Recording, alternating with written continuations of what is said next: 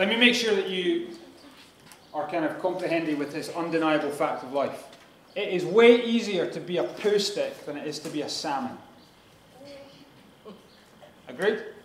Everyone know what a poo stick is? You played that game? If you've not heard of the game Poo Sticks, put your hand in the air. Right, let me explain this to you really quickly. Poo Sticks is from Winnie the Pooh. You stand on a bridge over a kind of flowing stream. This isn't ringing any bells? You stand on the side of the bridge that is kind of um, furthest away from where the stream is flowing, is that right? Upstream. Upstream, that's what I'm looking for. Um, and everyone picks a stick, and you throw your stick over, at which point you sprint to the other side of the bridge, and whoever stick you see first wins. No I ever played that game? Yeah. Great. This is before Xboxes and all this thing, by the way. Better though. So, a poo stick does what? It just floats with the stream. It goes with the current. Easy life. What's the difference between a poo stick and a salmon? What does a salmon do? Swims upstream. So, are we in agreement that it's easier if you were to choose a life, poo stick or salmon, which is easier? Poo stick. This is going to make sense in a little bit. Happy with that? Okay. Floating with the current is easier than fighting against it. Now, that is true, I guess, in the kind of battles you'll face at school. When you have a whole culture, a whole kind of community that are doing certain things, it is easier to go with the flow, correct? That might mean easier to go along when everyone is drinking or when everyone's experimenting or everyone's having sex or everyone is bullying someone. It's easier to be a poo than be a salmon. Correct? Uh, it may, though, be a battle within yourself. There is that sense, particularly if you're a Christian, that when you enter the Christian life, there are some things which were very natural which you now have to fight against now you're a Christian. Some things that were easy that now take a kind of graft to walk away from. And sometimes in the Christian life, there's a battle between us, and it's almost easier to go back to just going with our old selves than it is to fight upstream like a salmon and follow Jesus. Correct? It is easier to be a poo stick than a salmon. Now, some of us have been walking this Christian life for a while, but are tempted to maybe go back to going with the flow. And some of us are feeling the heat of the struggle, fighting temptation, fighting addiction, battling against relapses, just the struggle that it is to get up and go against the flow of a non Christian culture and to live as a Christian. Some of us are feeling that battle. Some of us might even have sacked the salmon thing and just become a poo stick again. Here's the bottom line it is easier not to be a Christian. True? Christian life's a war. The question then coming to Genesis 6 this morning is why bother? If the Christian life's harder, why bother? Enter Genesis 6, page 8 in your Bibles. Let's read from verse 8. But Noah found favor in the eyes of the Lord. This is the account of Noah and his family. Noah was a righteous man, blameless among the people of his time, and he walked faithfully with God. Noah had three sons, Shem, Ham, and Japheth. Now, the earth was corrupt in God's sight and was full of violence. God saw how corrupt the earth had become, for all the people on earth had corrupted their ways. A question Noah, poo stick or salmon? Salmon. What is the culture like around them? How is it described in those verses we read? Don't look at me, the answer's in your Bible. Violent. Violent, corrupt, everyone. The tide of culture is corruption and violence. Verses 11 and 12 corrupted earth, corrupted by people that are full of violence. Humanity has ruined itself and ruined creation. The word corrupt there has the idea of being distorted or twisted or perverted or defiled. Maybe like last week, it's been turned. Uh, look at the verse 13. The earth was full of what? Violence. That phrase is meant to make you think back to Genesis 1, where God said to Adam and Eve, uh, Be fruitful and multiply, fill the earth and subdue it. The command, fill the earth, was a command to make babies and create life. But he now uses that same phrase. It is now not full of babies and life, but it is full of stuff that destroys life. Do you see how it's been perverted? You see how this creation has been corrupted by humanity. Now, you look at that, this is so many thousand years ago, but it is pretty much still the same today. We live in Gracemount in a community, we make up a community that is corruption and full of violence. And you could look at things like abuse within homes, you could look at anger within our hearts, you could look at stabbings, you could look at self harm, you could look at bullying or gossip or slander, you could look at swearing or abortion or fraud. We're corrupt. I mean, take for example, right? You get a bunch of young teenagers in Gracemount. What is, what is it you find them doing? When they find a motorbike, steal a motorbike, find a motorbike, do they rally it and then burn it, or do they do it up and return it to its owner? They burn it. When the mansion is there and a bunch of young teenagers come, do they vandalize it or do they restore it? Vandalize it. Interesting. When there is a young person at school that is vulnerable and a little bit odd, do they encourage them or do they bully them? It's easier, right?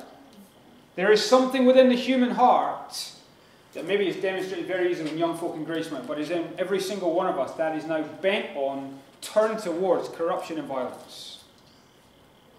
And it's way easier to float that way. But here in Genesis 6 is a culture where everyone's a poo stick, everyone is kind of corrupted and floating in corruption, and their lives are polluting the waters. But there's one man, and his name is Noah. And Noah is among them. It's, see the phrase used in verse 9? He is among the people, which means Noah's not this freak kind of up in some high tower removed from everyone. He's not hiding in a cave. He's not in retreat in some monastery. He is among the people. But although he is among them, he didn't like them. He's a salmon when everyone else is a poo stick. And two words are used to describe him righteous and blameless. Here's Noah among the people of his time. I think that's the first blank in your sheet. Righteous and blameless. Righteous means he's not defined by the corruption, by the violence, by the immorality of everyone else in the culture around him. But he's fighting against the tide for purity and for morality. Not violence, but peace. It's righteous. He's blameless. That word blameless has the idea of kind of wholeness, wholeheartedness, completeness. Everyone else's hearts have turned. We saw that last week. Turned to be only evil all the time. And yet here is Noah, whose heart is wholehearted for God. He's not like Cain, who gave this kind of half-arsed thing of, oh, I'll worship you, but his heart's not in it. Now he is worshipping God with all of his heart, all of his soul, all of his mind, all of his strength. He's all in. Doesn't mean he's perfect, but here's a man who is living by faith in God, righteous and blameless. Now, think for a second. A culture where everyone's just drifting towards corruption and violence. One man who's righteous and blameless. How do you think the people of his community thought about Noah? Think he was liked? No, why? He's different. When someone's righteous and you're not, why don't you like them? Yeah, they make you look bad. The phrase that's used in a New Testament called Hebrews about Noah is that Noah, by his righteous life, condemned the world. And when you feel condemned, your hackles go up. Now, here's the question again then Noah, why live this way? Because not only is it harder, but you'll be hated for it. Well, notice another thing. Why is he different? Why is he a salmon? Well, among the people of this time, he's blameless and righteous. But when it comes to being with his God, the phrase that's used is he is walking with God. Where did we hear that phrase before? Remember the guy's name who was described as walking with God? Enoch. Enoch walked with God. Same phrase. The people of his time, right, would have looked at Noah and saw one man on his own walking strange. What a freak. And yet, although it looks like Noah is walking alone and he's strange and he's different and he's a loner and he's a freak, what they fail to see, what their lack of faith keeps them from seeing, is that Noah is not walking alone. He's walking with God. His wading against the culture is fueled by his walk with God. Like Enoch, it's that intimate name for being in step with and kind of personal with and intimate with the Creator God. Again, it's not saying that he is perfectly blameless and perfectly righteous, but that by faith he is in step with God, worshipping God, sacrificing rightly to God, so that God looks at him and says, I will credit righteousness to you. I'll give you the righteousness that comes by faith. He is standing faithful. He is being pure in the face of a tide that is going the opposite direction. It's what makes Noah Noah. Now, let me give you 20 seconds to scan the rest of this chapter. Tell me what Noah says in Genesis chapter 6. Scan it quickly. And notice what Noah says.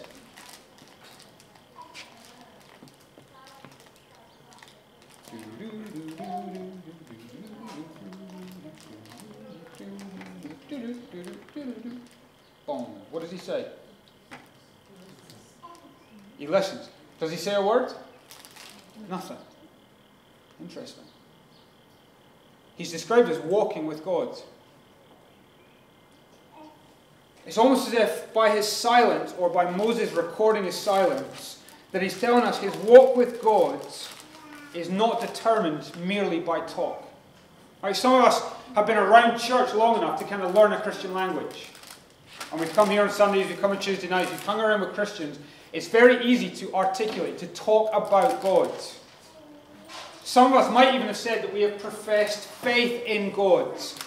Some of us can even articulate what repentance would look like for us. And we can talk through the kind of sat nav directions of our walk with God and say, yeah, this is what it's going to look like. I'll have to give this up. I'll have to start doing this. I'll need to work hard to avoid that. This is what it's going to look like. And we can talk the walk. But listen, the Christian life is not about talking about God, it is about walking with God. And some of us need to cut the talking about God and start walking with Him. I'm Reading the book of James this week. And James says that when we know the right thing to do, but we fail to do it, we sin. God says, Didn't give me your talk, show me your walk. It is his walk with God that makes Noah wade against the tide of his culture. And you either float with the people of your culture or you fight like a salmon with Noah. You can't do both. The righteousness that comes by faith produces the obedience that comes with faith. Right, you walk with God, you walk against the tide. Let me ask you some questions, right? If you are a Christian, if you profess faith in Christ, if you're a member of this church, let me ask you some questions. Would people in Gracemount, your family, your neighbours, people at the school gates, say that you were a poo stick or a salmon? Would they say that you just roll with everyone else? Or that you're different? Would people know you are a Christian, not by the fact you say it with your gob, but by the fact that you are seen to be walking with God? by how you behave in your life. I wonder if the people you chat with at the gate of their house would say you're just part of the people of your time, you share their ways. Or would you be known for being different? Challenge, right? Would they say that you are like light in darkness? Would they say that you're like salt in a corrupt earth? Would they say that you shine like a star? Would they say that, like Noah, in a sense, you condemn them by your good deeds? Because the footsteps of Noah as he walks with God are meant to be the footsteps that we follow. Now, again, I'm going as a Christian, knowing that life is hard as a Christian, know it's harder to be a salmon and a poo stick. I'm going, how do you keep going? When it's not just hard, but you're hated for it. What would motivate you to keep going? We're going to read on from verse 13. I'm going to try and answer that question. Look at verse 13. So, God said to Noah, I'm going to put an end to all people for the earth is filled with violence because of them. I'm surely going to destroy both them and the earth. So make for yourself an ark of cypress wood. Make rooms in it and coat with pitch inside and out. This is how you're to build it. The ark is to be 300 cubits long, 50 cubits wide, 30 cubits high. Make a roof for it, leaving below the roof an opening of one cubit high all around. Put a door in the side of the ark I mean, lower, middle, and upper decks. I'm going to bring floodwaters on the earth to destroy all life under the heavens. Every creature that has the breath of life in it, everything on earth will perish. But I will establish my covenant with you, and you will enter the ark. You and your sons and your wife and your son's wives with you. You are to bring into the ark two of all living creatures, male and female, to keep them alive with you two of every kind of bird, of every kind of animal, of every kind of creature that moves along the ground will come to you and be kept alive. You are to take every kind of food that is to be eaten and store it away as food for you and for them. Noah did everything just as God commanded him. Now, question um, Who's the main character in what we've read? Who's the main character? Noah. I would say not. Because everything Noah does is in response to something that someone else does. Noah doesn't speak. Noah listens. It is the Lord God who is the main character in this story. He speaks. He shows Noah favor. He sees the earth. He speaks to Noah. He warns Noah. He commands Noah. He initiates a covenant. He keeps people alive. He promises a new start. It is the Lord God that your eyes are meant to be on in this chapter. And it is the Lord God that we're told in verse 13, sorry, verse 12, sees the corruption on earth. God sees. Listen, do not believe the lie that God doesn't see the corruption and violence that happens in the privacy of your home. He sees. We're not hidden from God. He sees, and it's what the Lord sees that caused him to speak to Noah. Look at verse 13. What God has seen in people means he's putting an end to people. He's going to bring destruction. You want to read it instead of me, Pop? you found a better preacher? I can, I can take the offence. Don't worry, Pop. All good? Look at verse 13 again then. What God has seen in people means He's putting an end to people, He's bringing destruction. I think the language in verse 17 is frightening. He is taking away life. When in Genesis 2 we were told that God gave life to Adam, the idea is that God breathed life into Adam's nostril. The, the intimacy of the relationship was mouth to nose. He breathed life. And now, the very breath that the Lord God has breathed into humanity's lungs has been used by us humans to breathe out evil. And so the Lord says, I'm taking that life back the breath will be gone.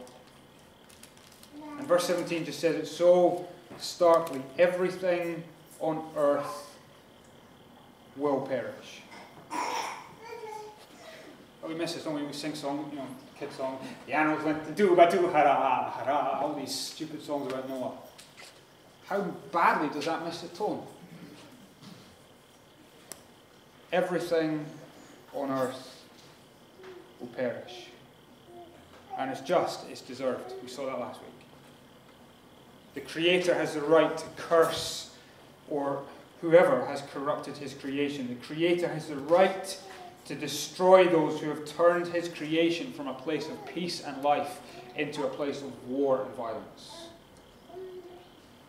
And so, as Noah walks with God, he hears the voice of God speaking the promise of judgment. The floodwaters will rise, all life will drown. And Psalm 29 says, The Lord sits enthroned above the flood. There is no mistaking. This is not just natural disaster, this is divine judgment. I think what I didn't notice until I read it again this week, verse 13 God said to Noah, The judgment is going to be on all life. But who gets the promise of judgment? One man. All life will perish. Every life will perish. But not every life gets the promise of judgment. It's actually the part that Jesus picks up on when he tells this story, retells this story, Matthew 24. Listen to what Jesus says. As it was in the days of Noah, so it will be at the coming of the Son of Man. For in the days before the flood, people were eating and drinking, marrying and giving in marriage, up to the day Noah entered the ark, and they knew nothing about what would happen until the flood came and took them all away. That is how it will be at the coming of the Son of Man. See that phrase? They knew nothing about what would happen until the flood came and took them all away. Jesus is making a promise again of a future judgment that's still to come for us. And he says, You need to understand that just like in the days of Noah, when people were just getting on with life, eating, drinking, marrying, and then unexpectedly, judgment falls. They did not know that it was coming. And Jesus is making that connection to say that when he comes again as the Son of Man at the end of time, people will be scrolling through Facebook, and people will be taking their kids to school, and people will be folding the washing, and people will be getting married, and and it will come.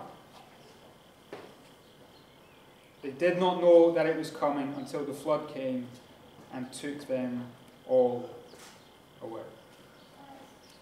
See, floating like a poo stick may feel like you're lying on a lilo in a pool in Benidorm. The reality is you're in a river that's current is taking you towards the Niagara Falls and a certain end.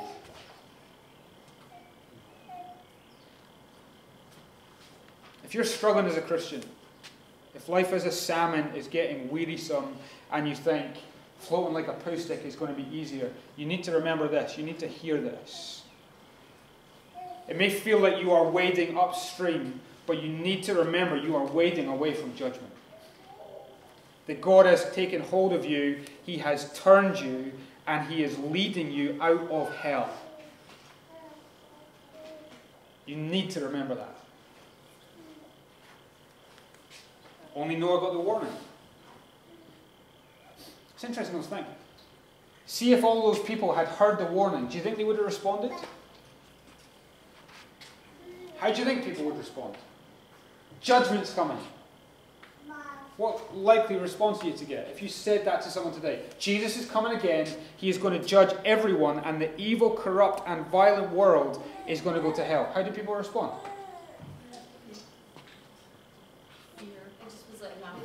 Laugh. It's scoff. My guess is that in Noah's day, in our day, it's how people respond. Imagine in Noah's day, someone gets this warning and they're looking at Noah building an ark in the middle of the desert and say, What are you up to, you whack job? The sun's shining. The promise of judgment came when the sun was shining, and so people scoff. But if any nation under planet Earth knows, us Scots know that just because it is sunny today does not guarantee that it won't rain tomorrow. And just because there is no sign of judgment today does not mean that it is not coming. One of Jesus' closest disciples, a lad called Peter, spoke of this warning and he spoke that just as Noah had scoffers, people scoffed at Peter as he told people this news. And so he stood up to them and he wrote a letter. And listen to what he says. Above all, you must understand that in the last days, these days, scoffers will come, scoffing and following their own evil desires. They will say, Where is this coming he promised? Everyone, ever since our ancestors died, everything goes on as has it been since the beginning. It's sunny. Peter says, But they deliberately forgot that long ago, by God's word, the heavens came into being, and the earth was formed out of water and by water. By waters also, this world that, sorry, by these waters also, the world of that time was deluged and destroyed. By the same words, the present heavens and earth are reserved for fire, being kept for the day of judgment and destruction of the ungodly. Just because it is sunny today does not mean that it will not rain tomorrow. And just because there is no sign of God's judgment today does not mean that it might not come tomorrow. The promise of judgment in Noah's day was not an empty promise. And the promise of judgment from Jesus for our day is not an empty promise. The fact that the floods came is proof that the fire will come. And the Lord is desperate for you. He is delaying deliberately for you that you might hear this promise of judgment and wake up and turn around. Because what we're going to see is that into these floodwaters of judgment, God floats a promise. A promise not of more judgment, but actually a promise of salvation. A covenant of salvation. Look at verse 13.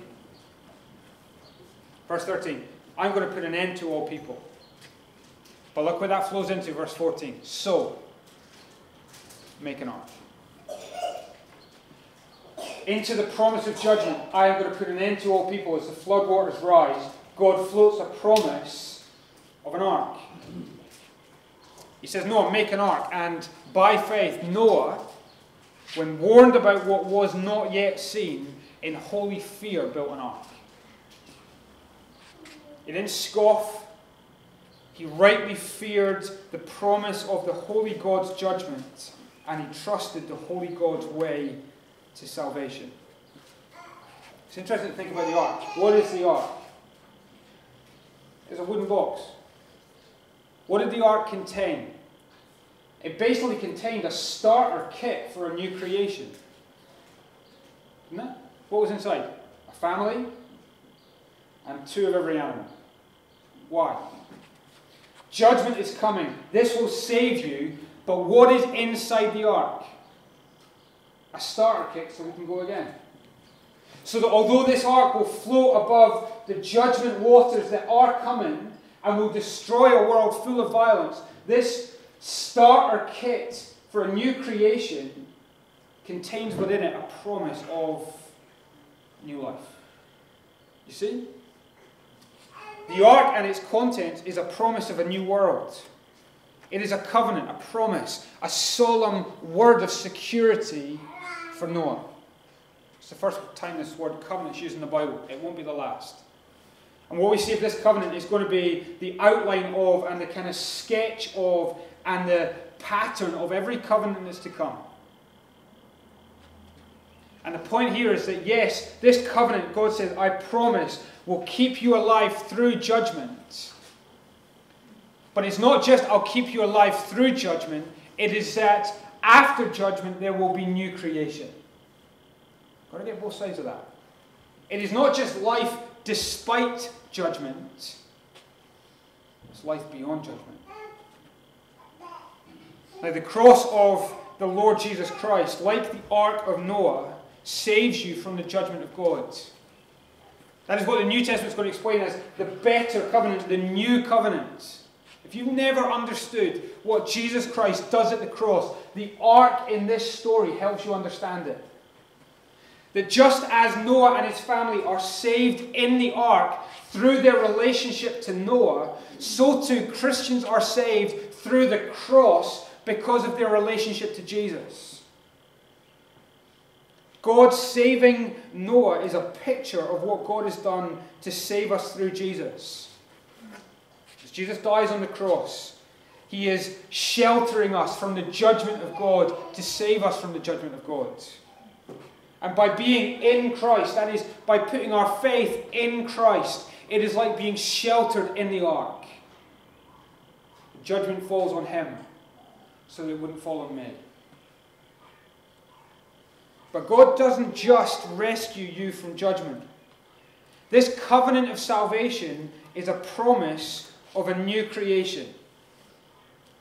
And let me speak to you again, right? If you're struggling as a Christian, struggling to fight on like a salmon, tempted to go back to the old world and just float with the culture, you need to fuel wading upstream with the promise contained in the resurrection of Jesus.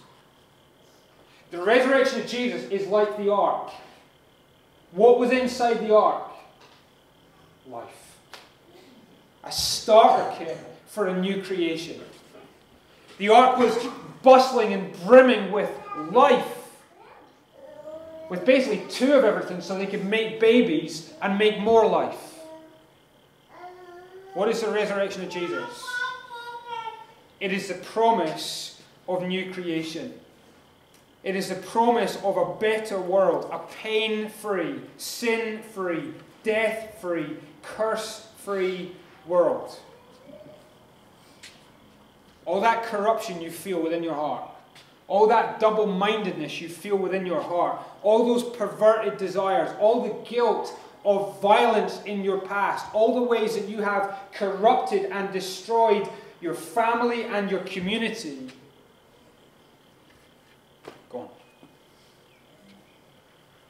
Because the new covenant brings new hearts that are destined for a new creation. You've got to cling on to that. When I'm wading upstream, I'm not just wading away from the Niagara Falls, but I'm walking with God to a promised homeland where there is no corruption and no violence, only peace and life. You know what that means? The struggle to live a blameless life, the struggle to live a righteous life, the struggle to be wholehearted for God, the struggle to leave friends and family and old lifestyles and habits behind. Do you know what this means? It's not in vain. Your righteous life, your obedience to God is not in vain. He has saved you from the judgment to come, and He will save you for the new creation to come. The ark is our hope, saving from judgment, but floating us to new creation. So here's what I want to say to this morning two very simple things. If you are a Christian fighting like a salmon, keep going. It's worth it. But see if you're a poo stick floating your way to judgment, wake up. I plead with you. It will come as in the days of Noah. You will not know that it's coming. But if you do not wake up, put your faith in Christ, repent of your sins, then hope is lost.